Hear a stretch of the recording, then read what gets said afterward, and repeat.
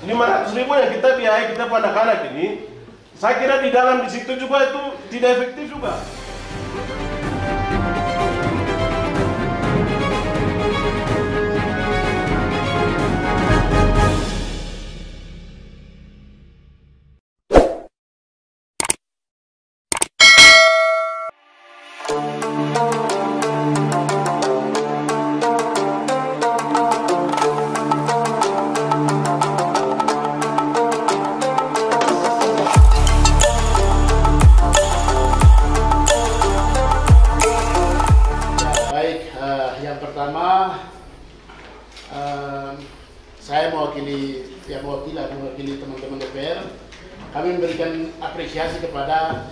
Jalan Jaya Sehat, eh Jalan Jaya Cerdas.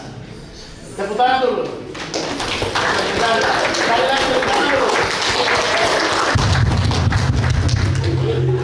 Ya karena ini Jaya Cerdas ini urus untuk generasi yang akan datang karena kita ini semua sudah tua-tua. Benar kan tidak?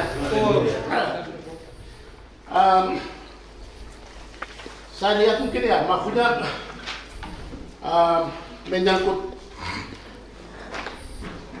jumlah ya eh, jumlah apa di korwil korwil yang saya tadi lihat itu eh jumlah kontrakan. Hampir 69 kontrakan.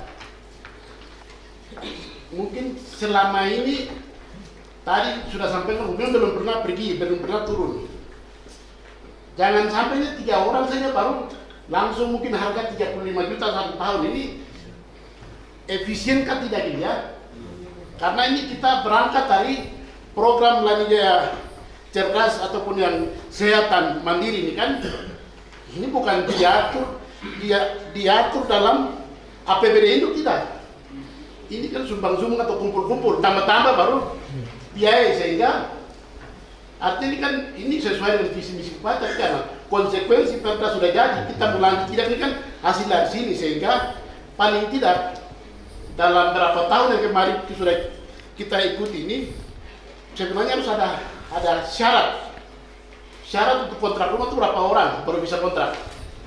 Kalau memang ada pun sampaikan bahkan ini ini masukan masukan saja tapi kalau memang bisa jawab kami harap jawaban. Cepat. Berkaitan dengan jum, eh, mahasiswa penerima ini.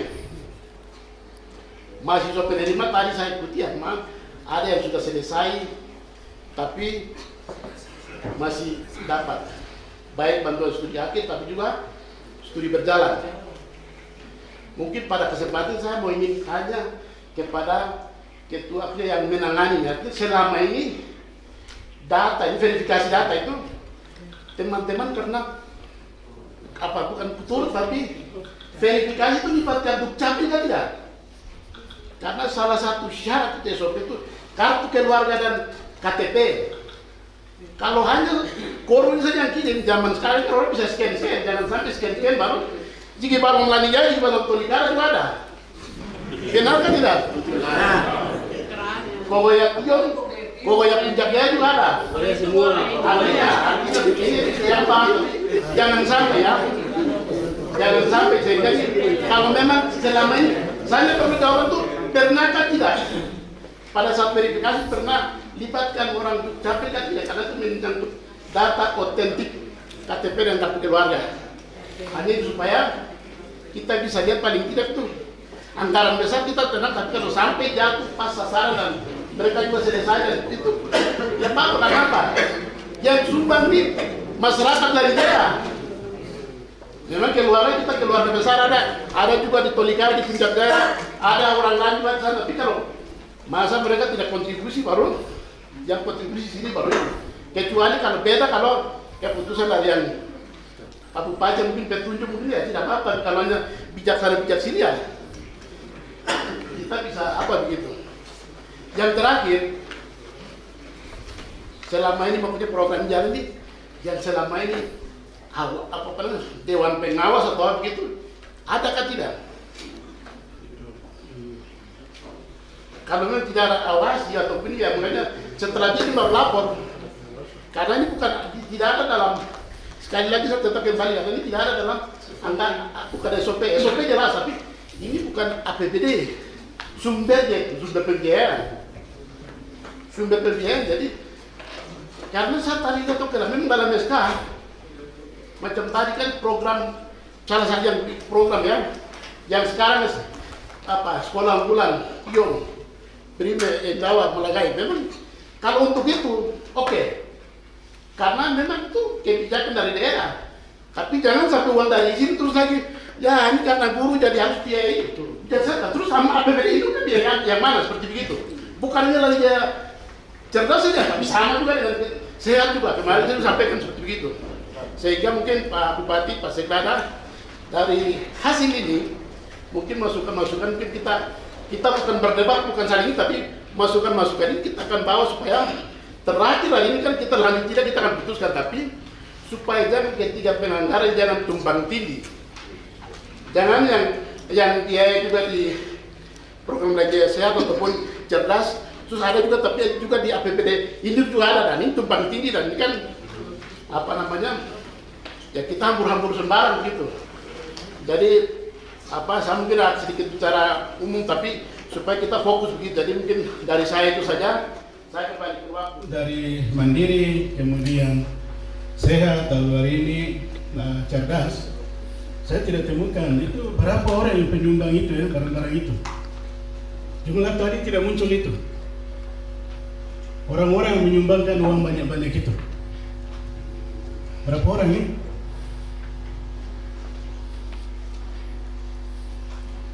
sama sekali tidak menyebutkan orang-orang yang menyumbangkan itu. Masyarakatnya berapa? Aparatur sipil negaranya berapa? Jumlahnya berapa orang? Termasuk juga uang. Jangan over dengan kegiatan-kegiatan rutin. Ibu Kepala Dinas Kesehatan minta maaf kalau yang saya salah. Memang di Dinas Kesehatan tidak pernah anggarkan itu beli obat ya Kepala Dinas Kesehatan minta maaf jangan sampai over dengan apa kegiatan apa MCS ini. Kemudian tadi kepala dinas PDNP, kok bisa juga sebut uang ini bisa keluar itu loh untuk bikin fisik itu. Saya tidak lihat baca pas itu loh, SOP itu situ sama sekali tidak ada sebut bikin bangun-bangunan ini tidak ada. Atau saya salah lihat. Coba lihat nanti sebentar ada kita jelaskan itu. Karena apa? Teman-teman di PDNP, teman-teman di kesehatan, teman-teman di instansi yang kelola barang-barang ini jujur juga teman-teman OPD yang lain beri hati. Jadi kalau hari ini teman-teman bilang masih uang kurang masih kurang kurang kasihan. Nanti semua dropping ke situ yang lain sayang lah karena itu untuk MCS ini saya secara pribadi ya APBD kita sumbangkan untuk MCS ini 30 eh 16 miliar. Sumber dari otsus APBD sama sekali tidak ada yang ada hanya di sumber otsus 16 miliar. Jadi lebih baik kalau tadi dijelaskan dari lima tahun full boleh. Supaya enak. Kita lihat dong berapa yang dokter keluar? Berapa dokter keluar? Ya. Sama ini saya juga kemarin nih dana banyak-banyak begini baru. Kemarin anak-anak dokter perempuan-perempuan lain itu kirim dorong sudah. Apa artinya 100 juta? Ah saya nih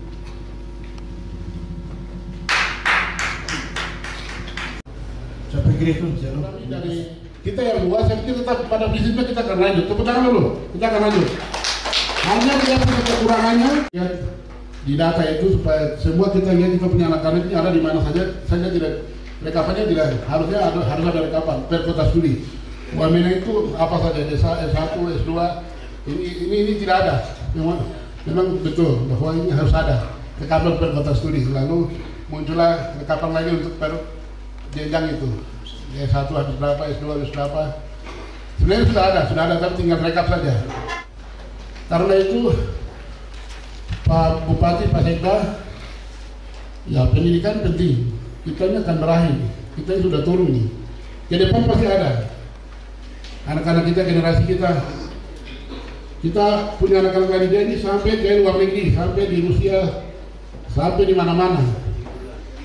Karena itu saya pikir ya kalau program ini hanya yang kurang mana-mana yang kita masukkan-masukkan itu di ini evaluasi mungkin ini secara umum ini mungkin harus kita duduk ya sama-sama DPR ini karena memang banyak yang harus kita benahi termasuk mandiri, termasuk juga sehat, tapi juga eh, cerdas. Karena itu ya yang tidak perlu yang terutama di mandiri kan banyak yang kita bilang akan akan kita kurangi hilangkan, termasuk juga di eh, cerdas. Hanya saja saya agak sedikit gitu, heran itu SOP di saya baca itu satu lebih itu ada operasinya kenapa tidak turun kemarin itu bikin apa saja minta maaf itu harusnya kan data itu kan sudah harus ada Kalau untuk pribadi saya, pada prinsipnya Lani Jaya cerdas itu lanjutnya. Itu statement pertama. Yang kedua, yang kedua itu adalah Juknis ini pimpinan legislatif dan eksekutif para Pokja duduk sama-sama dan direvisi. Direvisi. Kalau memang artinya begini, itu yang memang dicurigai juga tadi apa yang disampaikan oleh Pak Asisten itu. Nah itu yang makanya harus duduk sama-sama dan di kalau memang ini direvisi, direvisi lalu yang poin-poin mana yang ini.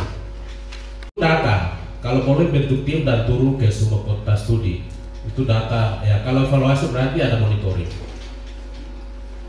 Nah, terus yang berikut itu kalau anggaran induk bisa dianggarkan kenapa harus ini? Itu saya sepakat. Kalau ini bentuk pola-pola itu kayak macam les ada ada ada apa istilahnya itu kita angkat kayak macam siapa yang dia untuk pola kelola atau atau macam bentuk yayasan atau apa satu atap itu itu yang memang kita harus ini karena saya melihat itu yang macam formal ini yang sekolah-sekolah yang ini itu saya kira itu hanya begitu-begitu saja berlalu. Nah, terus lanjut pulang hanya begitu. Kalau boleh cerdas manfaatkan yang keren-keren lah yang buat desain-desain itu. Artinya pola-pola yang orang yang tekun yang kalau sudah mau pensiun mau tekun yang kelola yayasan seperti itu ya dan cerdas kita bisa lihat gitu begitu ya, ke sana itu eh, pribadi saya kayak kayak begitu keren Jadi yang kami harapkan program ini lanjutkan. Ini kan program yang kontribusi yang kita kasih untuk kepentingan pendidikan. Melanjutkan apa? Nanti saya cerdas ini kami berharap untuk tetap berlanjut. Hanya terkait pengelolaan eh, pengelolaan cerdas ini yang harus perlu dirubah. Dalam arti kita usulkan hanya beberapa poin saja. Yang pertama terkait dengan sistem.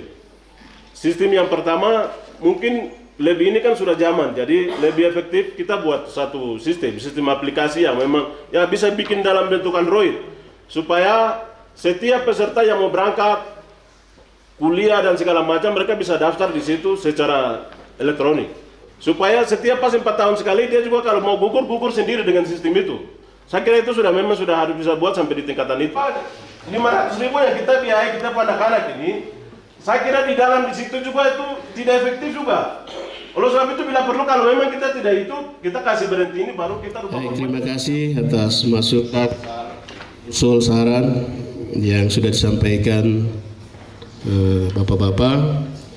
Ya kebetulan tadi di awal Pak Sekda sampaikan semua bapak-bapak jadi bapak-bapak semua sebagai suara kah?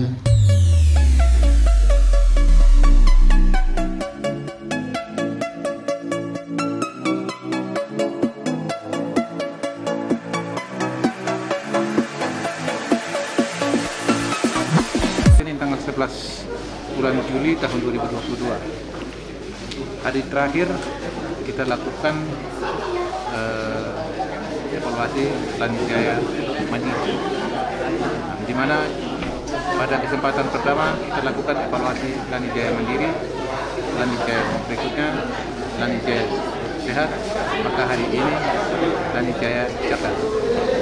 Yang dihadirkan semua unsur, ASN, DPR, dan seluruh pemangku kepentingan untuk melakukan evaluasi dari pagi sampai sore ini. Sore ini acara berlangsung baik.